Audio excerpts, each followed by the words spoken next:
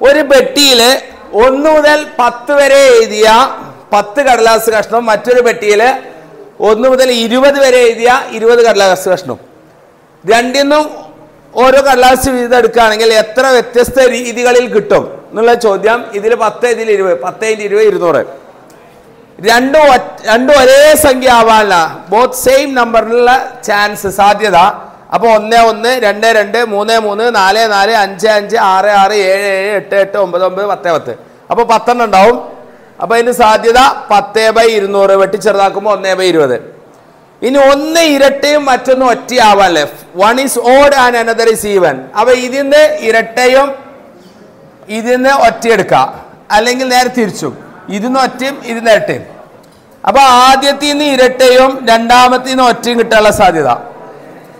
ആദ്യത്തിൽ നിന്ന് ഒറ്റയും രണ്ടാമത്തിൽ നിന്ന് ഇരട്ടിയും കിട്ടാനുള്ള സാധ്യത. ഇത് രണ്ടും കൂടെ ആഡ് ചെയ്യാം. അപ്പൊ അൻപത് ബൈ ഇരുന്നൂറ് അൻപത് ബൈ ഇരുന്നൂറും കൂട്ടിയാൽ നൂറ് ബൈ ഇരുന്നൂറ് ഒന്നേ ബൈ രണ്ട് കിട്ടും.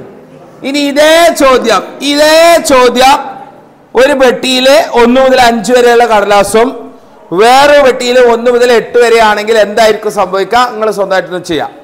എന്നിട്ട് അതിന്റെ ആൻസർ ഒന്ന് പറഞ്ഞേ.